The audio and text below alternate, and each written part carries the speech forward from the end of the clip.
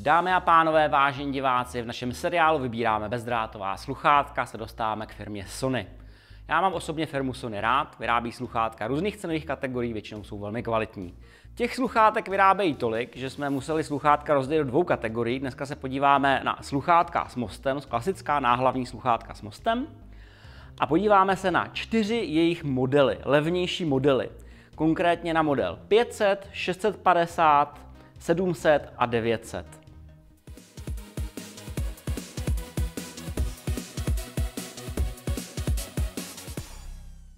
Sony se povedly tři hlavní věci na všech těch sluchátkách, které tady vidíme. Za prvé, hrají všechny dobře, každý trošku jinak, ale všechny dobře. Za druhé, skvěle drží link a za třetí mají fantastickou kapacitu baterie. I když se podíváme na nejlevnější model, tak ten má 20 hodin výdrže, to znamená minimálně jeden den. Ten nejlepší model má 35 hodin výdrže a vystačí vám pravděpodobně na 3 až 4 dny běžného používání. Tentokrát v této recenzi budu uvádět i jejich aktuální cenu, což je důležité vzhledem k jejich schopnostem. Tady když se díváme na sluchátka, na jedné straně velmi základní, to je ten model 500 za nějakých 13 stovek, a na druhé straně máme sluchátka, která dosahují ceny 6000. A skutečně, když je tam pětinásobný rozdíl v ceně, tak je to na něčem poznat. Pětistovkový model od Sony je takový velice jednoduchý, když se na něj podíváte, tak jeho konstrukce je celoplastová, jsou to sluchátka velmi jednoduchá, nemají vstup pro jack. Ovládací prvky jsou tady všeho všude dva, a to je vypínač, který zároveň slouží ke spuštění přehrávání, přijímání hovoru a potom zesilování, zeslabování kombinované se skákáním dopředu a dozadu. Konstrukce je to velice jednoduchá, nicméně překvapilo mě, že velmi dobře hrají, jsou taková středobasová sluchátka, nemají aktivní potlačení šumu, ale jsou velmi dobře izolovaná, takže vám v běžném provozu, v běžných podmínkách budou hrát velmi dobře. Jejich relativně největším problémem je to, že za prvé jsou plastová. Skutečně na nich nenajdeme ani ždibeckou. A za druhé, jak vidíte, jejich pevnost nebo jejich držení na hlavě je založené na tom, že jsou poměrně tuhá. Takže se hodí spíš pro lidi s menší hlavou. Je to spíš pro děti, nebo pro někoho, kdo má menší hlavu, jinak jsou ta sluchátka na nošení poměrně nepříjemná. Ale byl jsem překvapený, jak jsou akusticky kompetentní, jak dobře hrají a myslím si, že pokud opravdu nemáte peníze na lepší bezdrátová sluchátka, tak za méně než 15 stovek si můžete pořídit model, který je velmi solidní. Další nevýhodou je to, že podporují pouze dva kodeky, a to SBC a AAC. Jinými slovy, fungují velmi dobře se s jablečnými telefony, s těmi od Apple, u Androidu to už není tak jisté, protože ne každý telefon podporuje AAC a ty, které je podporuje, podporují v různé kvalitě, čili tohle je trošku problém. Pokročilejším modelem je model 650, což jsou sluchátka označená jako extra bass a věru jsou to extra basová sluchátka. Když se na ně podíváte, mají už tam trochu plechu a jsou taková mohutně stavěná, mají skvělou izolaci, ta jejich pasivní izolace je velmi kvalitní. Hudební podáním jsou to sluchátka středobasová nebo spíš basová. Eh, ten bas je takový razantní, počítačový, pokud jste navyklí poslouchat eh, na běžných sluchátkách počítači, tak vám to bude hodně připomínat. Eh, na můj vkus jsou až přebasovaná, ale jsou lidi, kteří to mají rádi. Jsou lidi, kteří mají rádi kos a podobné podání zvuku, takže pokud chcete sluchátka, která zároveň kvalitně hrají, a zároveň mají razantní bas, tak to je velmi zajímavý model, který byste si měli poslechnout. Jejich ovládací prvky jsou už takové pokročilejší. Najdeme tady polovací tlačítko, kterým spouštíme přehrávání, skáčeme dopředu dozadu. Máme samostatné tlačítko na zesilování a zeslabování, samostatný vypínač. A celkově jsou to sluchátka taková pohodlnější, hodí se i pro větší hlavu. Za mě docela prýma model, ale musíte si samozřejmě vyzkoušet, jestli vám vyhovuje to podání audia, které se nedá změnit. Poslední výhodou je výdrž baterie, která je 30 hodin a myslím si, že tato výhoda je dána tím, že nemá aktivní potlačení šumu. Spolehá se pouze na toto masivní polstrování zevnitř i vně. Dostáváme se k asi nejzajímavějšímu modelu, který tady vidíme, je to model 700 a musím říct, že jsem byl velice překvapený. Je to model, který se prodává kolem 3000 nebo pod 3000 korun a věru byl jsem v šoku, co všechno za tu cenu dostanete. Tak za prvé, mají výdrž 35 hodin na baterku, což je vážně hodně. Konstrukční provedení je stále takové jednoduché, najdete tam nějaký plech, ale většinou je to plast. Ten plast tam jednoznačně dominuje a sluchátka působí poněkud křehce. Na druhou stranu jejich velkou výhodou je to, že jsou velmi lehká. Na tu velikost, kterou vidíte, jsou skutečně velice lehká. Tím ovšem seznam výhod nekončí. Najdeme tam čip DSSE, Digital Sound Enhancement Engine. Tenhle ten čip bere audio a dokáže ho vylepšovat. Máme tady velmi širokou podporu kodeků. Najdeme tady SBC, AAC, aptX i aptX HD. To znamená, že se hodí i k těm nejnovějším telefonům s Androidem, kde jsou schopný předávat zvuk do sluchátek ve vysoké kvalitě. To je velmi zajímavá věc. Možná vás zaujme, proč tady máme ta sluchátka dvoje. Máme tady modrá, máme tady šedá. Je to proto, že ta šedá jsem si sám koupil. Ano, moje vlastní recenze mě opět přesvědčila k tomu, abych si koupil sluchátka. Vřele to doporučuji všem, je to skvělý model na takové běžné nošení po městě, výborný. I to ovládání je přehledné a jednoduché. Na pravém muště najdeme opět výkyvný přepínač, kterým skáčeme dopředu, dozadu, spouštíme přehrávání, najdeme tam samostatné tlačítko pro zesilování, prýma věc. Na druhé straně najdeme vypínač a tlačítko pro vypínání nebo aktivaci a deaktivaci aktivního podlačení šumu. Jinými slovy, velmi ergonomické. Máme tady systém aktivního potlačení šumu, který nedosahuje té kvality, jako mají třeba tisícovky. Tisícovky vás tak nějak odříznou od světa, vezmou svět a vyponou ho. Tady to funguje jinak, tady funguje filtrování hlavně na nižších frekvencích, což jsou takové brumy, hučení, takový běžný hukot. Ta největší výhoda je, když jdete třeba podél silnice, tak vám v podstatě ta silnice zmizí, ale přesto slyšíte částečně doprava, dopravu či částečně auta, což je docela prýma. Eh, nebo například v našem skladu to dokáže relativně solidně odfiltrovat i hučení ventilace, dokáže to snížit to nějakých, řekl bych odhadem asi 20 decibelů což je celkem prýma na tu cenu, která, jak jsem říkal, nedosahuje ani 3000 korun. Takže za mě, pokud máte peníze jenom na jedna bezdrátová sluchátka, neváhejte a sáhnete po toho modelu, nebudete litovat.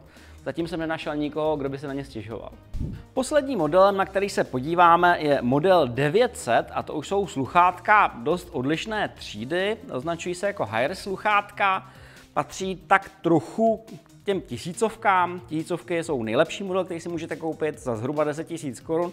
Tohle je model, který je o třetinu levnější, Nicméně musím říci, že s ním mám trochu více problémů, protože to je takový učedník, který se učil hodně řemesel, ale není v ničem mistrem. V podstatě každou výhodu, každé pozitivum tam vyvažuje nějaká nevýhoda, nějaký drobný problém. Pokud jde o podání audia, hrají velice pěkně, jsou to sluchátka akusticky příjemná, mají velký frekvenční rozsah, mají dlouhou výdrž na baterie 28 hodin, ale jsou to sluchátka spíš pro domácí použití. Za prvé, jak vidíte, mají poměrně velký přítlak, takže se nenosí úplně prýma celý den a za druhé i s tím polstrováním jsou skutečně velká a v okamžiku, kdy vyjdete ven, tak uslyšíte vítr. Uh, vítr uslyšíte u každých sluchátek, která vystupují hodně z hlavy, ale u těch opravdu speciálně. Uh, řada lidí se na to dokonce stěžuje. Uh, Sony ví, že to je problém, takže tato sluchátka podporují aktivní potlačení šumu dvěma způsoby. Jinak máte standardní, který používáte hlavně doma, který likviduje běžné ruchy a potom aplikaci najdete nastavení pro potlačení větru. Je tam prostě wind setting. Což vypadá rozumně do okamžiku, než zjistíte, že si na sluchátkách samotných můžete pouze vypnout a zapnout ten noise cancelling, ale nemůžete si nastavit, který z nich chcete. Takže v okamžiku, kdy jdete ven, musíte vytáhnout telefon a v aplikaci si nastavit, že chcete potlačení větru. A když jdete domů, tak to zase musíte vypnout, protože potlačení větru funguje tak, že když ho máte aktivní, tak se vám jakoby sníží e, rozlišení těch skladeb, které posloucháte, je takové trochu zahuhňané. E, a osobně si myslím, že kdyby Sony udělalo to, že na tom tlačítku pro aktivaci, deaktivaci noise cancellingu mělo speciální setting, který se prostě jmenuje Wind, tak by to asi vyřešilo. Nicméně zatím to mají udělané takhle nešťastně. Pro zpracování audia tam máme stejný čip, jak který najdeme v tisícovkách, to znamená DSSE HX, tedy pro zpracování vysokého rozlišení. Ovládání sluchátek je podobné také spíš tisícovkám. Na levé mušli najdeme vypínání, zapínání, aktivaci, deaktivaci aktivního potlačení šumu a celé ovládání se dělá na pravé mušli, kdy si sluchátka nasadíte a používáte vlastně ta samá gesta, která používáte u tisícovek. Když je srovnám s tisícovkami, najdeme tam několik zásadních rozdílů. Asi největší rozdíl je v tom, že to jejich potlačení šumu není adaptivní. Na tisícovkách máte tlačítko, které se dokážete přizpůsobit v podstatě libovolnému prostředí. Je tam nastavené na tvrdo a to potlačení šumu je slabší než u tisícovek. Ověřeno v situaci, kdy jsem měl dva opilce s balalajkou, tisícovky je vykryly, devítistovky ne. Jinými slovy, je tam docela zásadní rozdíl. Další rozdíl je v tom, že tisícovky jsou skladné, dostanete v přepravním pouzdru. Tohoto jsou sluchátka, která se nedají jednoduše složit. A samozřejmě je tam i rozdíl v tom pohodlí, kdy ty tisícovky jim připadají pohodlnější, jsou větší, kladou menší odpor. Co říci k těm devítistovkám? Já bych řekl, že pro ně se mi hledá relativně nejhůře, komu by se mohli líbit. A osobně si myslím, že pokud už chcete takhle vyspělý model, tak bych stál spíš po těch tisícovkách, které jsou o něco dražší. Pokud jde o nabíjení sluchátek, všechny modely až na ten model 1000 používají micro USB, jenom ten tisícovkový model třetí generace má USB-C a rychlo nabíjení. Všechna sluchátka drží velmi solidní link. Byl jsem velice, velice překvapený. Zvláštně to překvapilo u těch nejlevnějších sluchátek. I ty pětistovky s něj můžete vyrazit do hodně zarušeného prostředí a na tom linku nám stále drží, což je úplně super. Když se dívám na toto sluchátka, u většiny z nich si dovedu představit, pro koho se hodí. Tohle to je model, který je základní, leč uspokojující. Myslím si, že to je skvělý model třeba pro děti, eh, které, u kterých nechcete jim dávat nějaká extra drahá sluchátka, ale přitom hrají velice dobře na tu cenu. Velice, velice dobře. Když je mám srovnat se stejně drahými sluchátky neznaček, tak si myslím, že je lepší pořídit jim kvalitní model, než jim kazit uše něčím, co jen vypadá dobře. Model 650 je takový hodně specifický. Myslím si, že je jenom pro lidi, kteří mají rádi takový ten počítačový zvuk, jsou navyklí na to, že mají u počítače nějaká herní sluchátka a chtějí poslouchat hudbu v podobném podání. Těm to bude vyhovovat, ale jsou akusticky relativně nejdál. Jako dost zkreslují to audio a nebude se to líbit každému. Tohle to je prostě jenom pro někoho. Musíte, musíte si to sami vyzkoušet. Ne nadarmo se tam píše extra bas. Sedmistovky, to je miláček, to je prostě nejlepší model. Říkám, běžte a kupte si je, neuděláte chybu. Za necelou třetinu ceny těch tisícovek si kupujete sluchátka, které mají tak asi 70% jejich vlastností a to je velice, velice výhodné. Jednak perfektně hrají, skvěle se nosí, mají aktivní potlačení šumu, mají neuvěřitelnou výdrž na baterku, to jsou poprvé sluchátka, když jsem celý den chodil, poslouchal a na konci dne mi ukazovala, že baterka pořád plná, protože nejbližší další krok je 70% a zkrátka a dobře se mi nepodařilo vybít ani třetinu během celého dne, což je fantastická věc. To je prostě fantazie. Devítistovky jsou takový model problematický. Osobně si myslím, že by Sony měl trochu vylepšit, učinit trochu pohodlnějšími.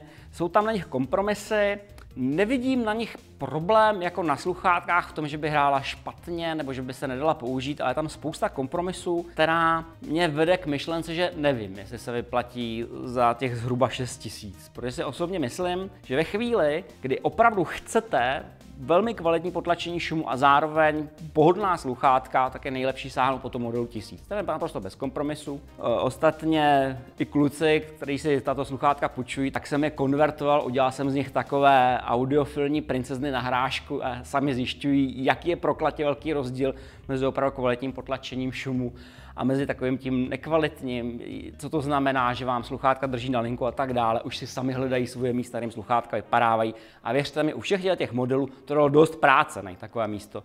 Čili tohle se Sony povedlo. Osobně, kdybych měl celou recenzi schrnout do jedné věty, běžte a kupte si sedmistovky. Běžte a kupte si sedmistovky, jsou nejlepší. Nejlepší poměr cena výkon, dostanete spoustu kvalitních vlastností, za rozumné peníze budete spokojeni. Takže děkuji vám za pozornost a příště se podíváme na sluchátka do uší a kolem krku.